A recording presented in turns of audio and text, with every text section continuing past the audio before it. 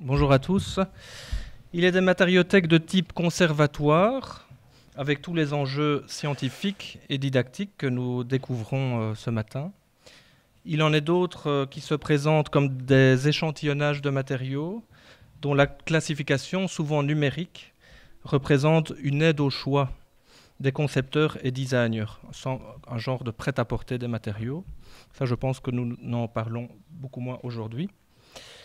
Celle que nous vous présentons aujourd'hui est située dans la faculté d'architecture, d'ingénierie architecturale et d'urbanisme de l'UCL, LOCI, à Bruxelles. Et c'est une matériothèque à vocation pédagogique. Monsieur Procès euh, va tout d'abord vous dresser l'historique de cette matériothèque dont il est le fondateur. Je vais ensuite vous évoquer le projet pédagogique de ce lieu.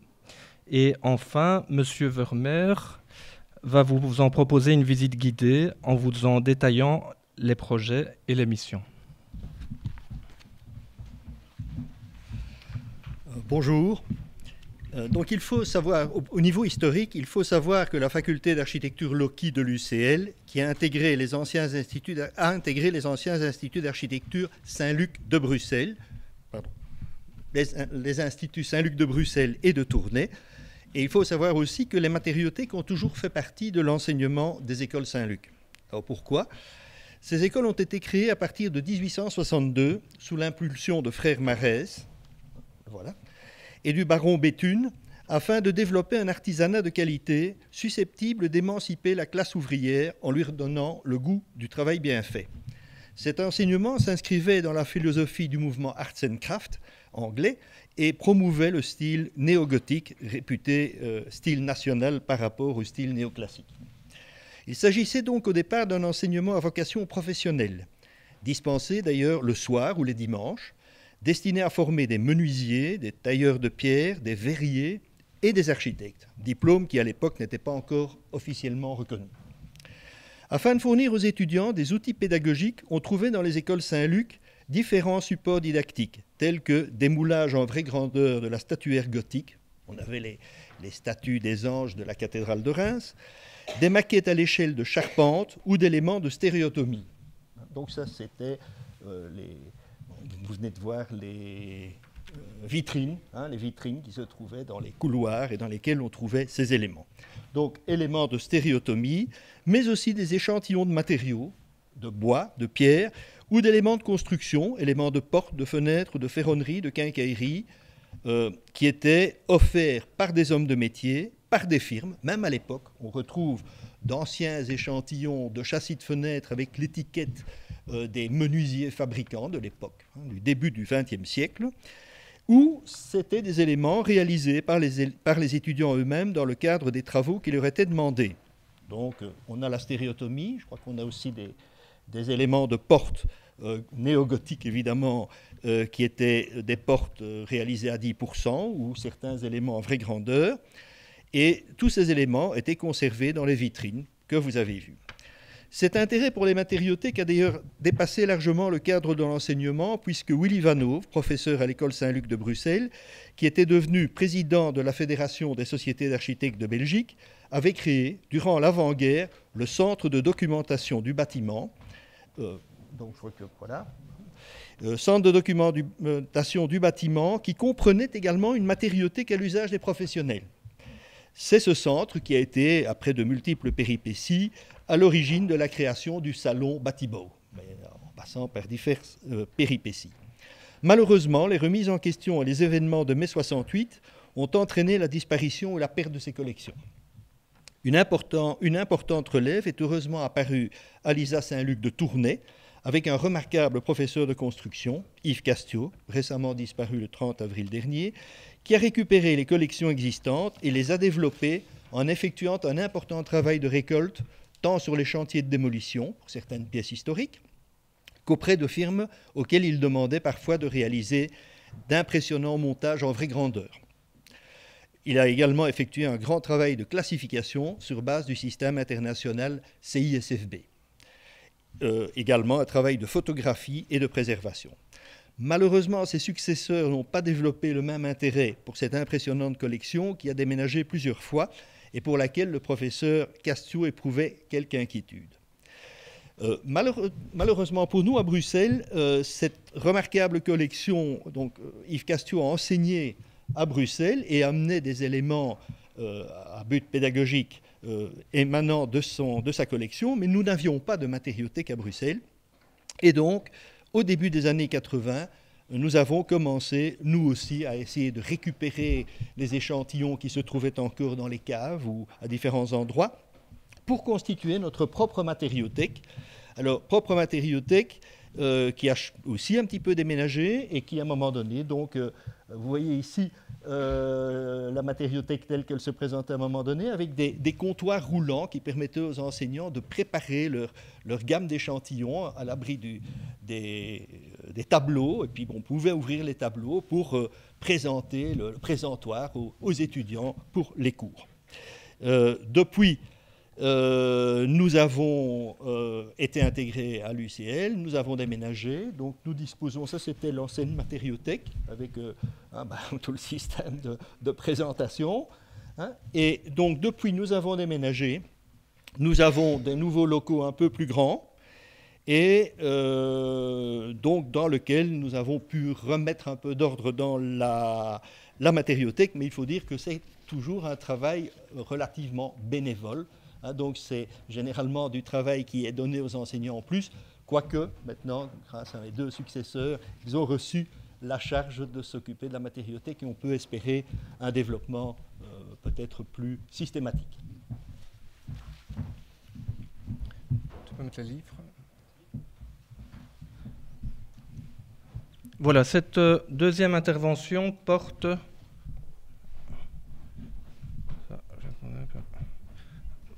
Cette deuxième intervention porte sur l'aspect pédagogique dans son sens le plus large des activités liées à notre matériothèque. Et la réflexion s'articule autour de la lecture de deux ouvrages. La main qui pense pour une architecture sensible de Giovanni Palasma et Éloge du carburateur de Matthew Crawford. Matthew Crawford. Les auteurs partagent tous les deux le constat dans nos sociétés d'un éloignement des individus des objets matériels qui les entourent y compris de l'environnement bâti. Cette fracture dans l'approche de la réalité entre le faire et le penser s'accompagne également bien souvent, selon ces auteurs, euh, d'un certain déni de la chose matérielle au profit de la pensée conceptuelle. Matthew Crawford, Matthew Crawford est un physicien américain qui, en 2001, après l'obtention d'un doctorat en philosophie politique, débute une carrière dans un institut de recherche prestigieux il va très vite éprouver le sentiment que la prétention intellectuelle attribuée officiellement au type de travail alloué est plus formelle que substantielle. Et après quelques mois, il bifurque dans une activité manuelle en ouvrant un atelier de réparation moto. Et dans l'ouvrage, dans cet ouvrage-ci, dans son premier ouvrage, il démonte très élégamment d'ailleurs le préjugé selon lequel toute forme de travail manuel les travailleurs en col bleu, est nécessairement plus décérébré que le travail intellectuel du bureau. Gianni Palsma est architecte reconnu en Finlande et a occupé notamment le poste doyen de la faculté d'architecture à l'Université des technologies d'Helsinki. En tant qu'enseignant, il insiste dans son ouvrage sur l'idée que l'action, l'expérimentation physique autour des choses concrètes et matérielles, précède souvent la connaissance verbale et la pensée dite intellectuelle conceptuelle. Le témoignage contenu dans ces deux ouvrages, dans des contextes et des géographies fort éloignés, est très similaire. Les deux auteurs identifient très clairement euh, une accentuation dans nos sociétés de la fracture entre le travail du cerveau et le travail de la, main, et donc bien souvent, comme je le disais, un déni euh, de ce dernier au profit de l'intellect. Cette spécialisation des tâches entre ceux qui pensent et ceux qui agissent s'illustre d'une part dans le monde du travail et d'autre part dans l'enseignement. Dans le monde de la construction, le dépouillement du savoir de l'artisan s'est fait plus lentement que dans l'industrie et la production des objets ou des machines. Aujourd'hui, la production d'escaliers préfabriqués, de portes, etc., contribue partiellement à une disparition d'un savoir, d'un savoir-faire savant. Dans les professions dites intellectuelles, ce qui est privilégié, au contraire, c'est au contraire d'une tâche hyper spécialisée automatique de l'ouvrier, ce sont des concepts de polyvalence, de potentialité, de flexibilité qui sont favorisés dans des structures professionnelles euh, dont l'organisation est en perpétuel changement. À noter que dans le monde de l'architecture, depuis 1939, le législateur a décidé de créer une incompatibilité entre le métier d'architecte-concepteur et le métier de maître d'œuvre. Paradoxalement, encore aujourd'hui, euh, le grand public, bien souvent, je le vois dans ma pratique professionnelle, nombre de mes commanditaires, au début de nos relations euh, contractuelles, confondent encore souvent le métier d'architecte et celui d'entrepreneur. Dans l'enseignement, la scission entre le faire et le penser se produit très tôt par le conditionnement des étudiants à choisir très tôt entre une filière technique ou un enseignement dit général, dans lequel prévaut, au contraire du premier, euh, donc, euh, dans lequel prévaut la connaissance verbale, intellectuelle et conceptuelle. Les cours de technologie, dernier bastion d'un enseignement mixte, ont disparu de l'enseignement depuis les années 80. Globalement, les écoles d'architecture et la profession tout entière n'échappent pas, surtout depuis la deuxième partie du XXe siècle, à cette tendance définie par une mise en porte-à-faux du conceptuel sur le concret. Ou du travail intellectuel. Très récemment, sans faire de bruit, comme le disait M. Procès, l'enseignement de l'architecture est passé du domaine des arts, l'ancienne école Saint-Luc, au domaine des sciences, puisque l'enseignement fait actuellement partie de la faculté des sciences et des technologies. On l'a vu, donc, à l'origine des écoles Saint-Luc, les apprentis menuisiers, tailleurs de pierre, etc., côtoyaient en cours les élèves en architecture. Une bonne partie des connaissances, en effet, en particulier celles nécessaires à la pratique du métier, s'acquièrent par l'expérience sensorielle et par une exploration manuelle de la matière. En effet, un architecte qui maîtrise la matière et les réalités de la fabrication comprend plus facilement la difficulté des artisans qui exécutent la mise en œuvre et l'architecte peut plus facilement respecter également leurs compétences. Dès lors, sont mis en place des enseignements dans lesquels les étudiants ont accès à des médias, des illustrations, des visites en entreprise, euh, et également des stages sur chantier qui sont rendus obligatoires. Enfin, le lieu de la matériothèque constitue un socle autour duquel s'alimente cette réflexion autour de la dialectique entre le faire et le penser. Les projets décrits dans la troisième partie de, cet exposé illustrent cette volonté d'un retour à l'expérimentation sur le réel.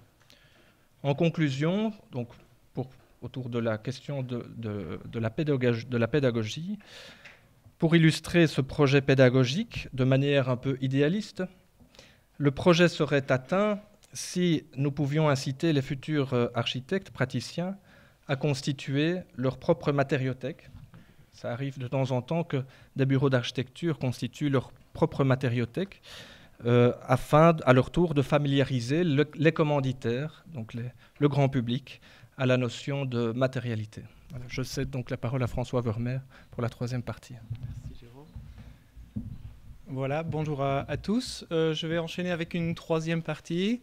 Euh, donc après ce bref historique sur la, ligne de vie de cette matériothèque et euh, les visées pédagogiques, on va euh, rentrer véritablement dans une sorte de visite virtuelle de cette matériothèque ou ce qu'elle aimerait de, devenir euh, dans un futur plus ou moins proche. Alors, comment se présente actuellement cette matériothèque Mayu? Donc, Mayu, c'est un acronyme pour.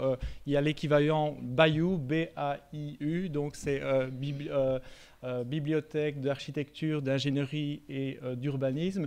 Donc le M ici est euh, simplement associé à matériothèque, bien sûr. Et surtout, que peut-on y trouver dans cette matériothèque? Alors vous avez un petit un plan. Donc l'idée générale, la logique adoptée pour, pour le classement des différents matériaux, c'est une logique selon les familles, donc un petit peu comme ce qui a été présenté. On commence par les matériaux extraits du sol ou du sous-sol, les pierres naturelles, les argiles, euh, les ardoises, etc. Et puis on passe progressivement vers d'autres familles, donc en montant progressivement. Euh, il faut s'imaginer que la, matériothèque est un local donc plus ou moins rectangulaire, d'une centaine de mètres carrés environ. Et donc, euh, en fonction de la progression dans cet espace de matériothèque, on a la possibilité de voyager dans le, monde matériel, si on peut dire, en voyant se succéder les étagères les unes après les autres. Donc je vous laisse lire, on passe aux matériaux métalliques bien sûr ensuite, les matériaux du verre, le bois, les équipements de finition, structures et superstructures, châssis et autres. et on termine par les isolants, donc laine de roche, laine de chanvre et autres polystyrènes. Euh, bien sûr. Alors, euh, la réflexion qui avait euh, été, qui, qui, fut la nôtre, et a été de se calquer sur un système de classification que certains sans doute connaissent, donc, qui s'appelle le BBSFB, qui a son équivalent dans d'autres pays d'Europe, donc l'Allemagne, la France, également le Royaume-Uni et un pays scandinave, je crois la Suède, si je ne me trompe.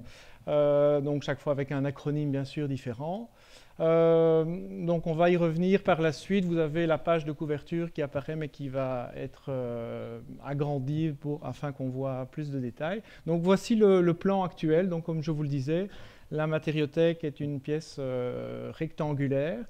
Et ceci, ce n'est pas la, la, disposition actuelle, c'est un projet de réorganisation de cette matériothèque Mayou.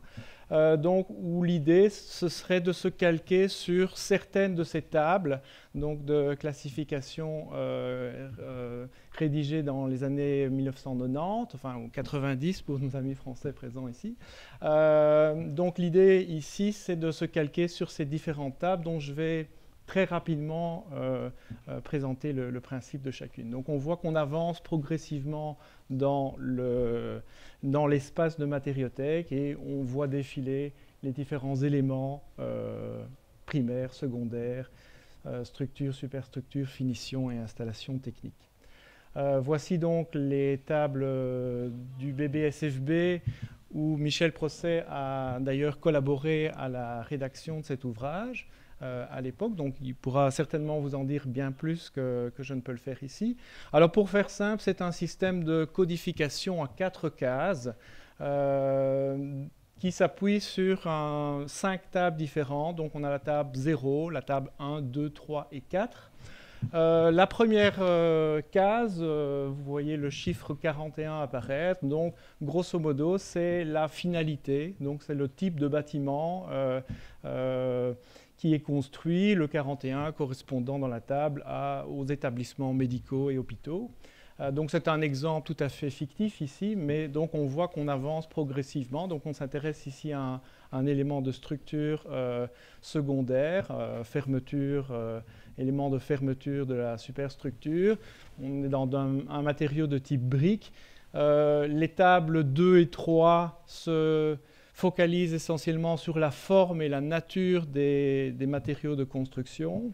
La table 2, qui est la deuxième case, je ne l'ai pas dit, mais ce sont plutôt euh, donc les éléments de construction. Les trois premières cases, comme vous le voyez, font plutôt référence aux aspects matériels. Et la dernière case est une, case euh, plutôt sur les caractéristiques euh, de type contrainte et autres, mais euh, je ne vais pas détailler outre mesure. Alors, il y avait quelques exemples ici qui étaient, qui étaient notés. Donc, par exemple, une maison à un seul étage, donc c'est le code 812, donc dans la première, euh, première case, et ainsi de suite. On peut euh, évidemment, le document, je, l'ai amené pour ceux, et celles qui souhaiteraient avoir le, le feuilleté pour avoir davantage de détails que ce que je ne peux faire ici dans la présentation ou le, le temps est évidemment raccourci. Alors, première table, donc ici on est dans les éléments de construction. Euh, donc c'est un tableau à double entrée pour faire rapide, où on a un sens logique de progression, on va dire temporel, en termes d'avancement dans, un chantier de construction ou de rénovation éventuellement. Et puis au plus on descend verticalement par colonne, au plus on va euh, loin dans le détail, on va dire, euh, au niveau de cette classification. Une deuxième table, donc c'est pour la forme des matériaux. Donc vous avez euh, les formes qui sont reprises ici. Euh, je ne vais pas détailler outre mesure. Euh, donc l'idée c'est plutôt de, vous montrer à quoi ressemble notre matériothèque finalement. Donc on a ici le premier rayonnage que vous, avez vu apparaître, donc les pierres naturelles, pierres de parement, de moellonnage, de pierres de taille, etc. Donc Euh, j'avais remis une rapide, donc ça c'est un petit peu euh, ma, spécialité. Donc je me suis euh, professeur d'enseignant de, sciences du milieu, donc c'est de la géologie. on s'intéresse à la diversité des pierres du sous-sol. Et donc ici en Belgique, malgré la, petitesse de notre territoire, on a une grande diversité et les roches les plus anciennes datent du Cambrien, donc ont 540 millions d'années, ce qui est intéressant. Donc, Quelques détails de, finition. Euh, l'immense talent et savoir-faire de nos euh, tailleurs de pierre, bien sûr, dans les contrées wallonnes. Euh, j'accélère un petit peu. Les outils de, taille, donc ici en marbrerie particulièrement. Donc malheureusement, nous n'avons que des photos, mais nous avons pu voir que certains en ont acquis des collections. Les matériaux donc, euh, de type terre crue, terre cuite, etc. Donc des exemples de briques. Euh, alors ce qui est important de signaler, c'est que les étudiants sont eux-mêmes impliqués dans l'alimentation de cette matériothèque, puisque M. Euh, qui était professeur de cours de construction et de matériaux, demandait à ses étudiants de, de, l'achalander en échantillons. Et ces échantillons étaient chaque fois accompagnés évidemment d'un dossier technique euh, présentant les caractéristiques essentielles euh, des bâtiments. On avance, quelques exemples ici de produits de promotion, des tuiles miniatures produites par, euh, en son temps par la société Stereberg de Kortrijk ou Courtrai. donc on voit qu'elles sont évidemment de taille réduite. On avance, ici on est dans des contre-marches. Alors on passe aux matériaux évidemment de type béton, ciment et autres euh, pierres de synthèse. Euh, je vous les fais défiler, pas trop vite si possible.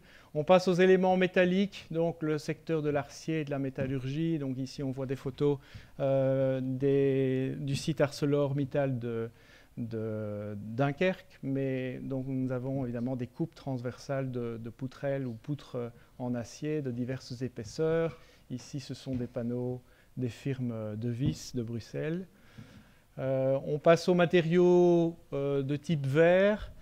Euh, donc là encore, une assez grande diversité de verre fumé, martelé, sablé, feuilleté et autres. des exemples de vitraux également. Plexiglas.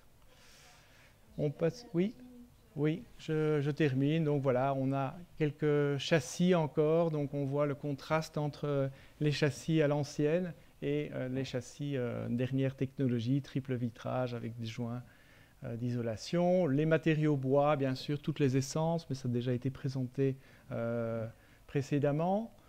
et également des travaux auxquels M. Procès faisait référence d'artisans menuisiers de, des ex-instituts Saint-Luc. Donc ce sont des reproductions ici à une échelle 1 dixième donc on voit le détail chaque fois en vraie grandeur et son équivalent à l'échelle 1 dixième. Voilà, et on arrive à la dernière famille, donc euh, je, termine avec les matériaux d'isolation. Là aussi, on a une grande diversité euh, qui est venue se rajouter au cours de ces dernières décennies. Voilà euh, les installations techniques, quelques exemples de serrures, poignées et autres. Je pense que nous sommes moins bien équipés que d'autres matériothèques qui ont déjà été euh, présentés. Et puis, euh, vraiment pour clôturer, bien sûr, nous avons aussi une large gamme de documentation technico-commerciale qui, bien sûr, sont à la disposition des étudiants pour diverses études ou travaux de fin d'études, par exemple. Voilà, je vous remercie.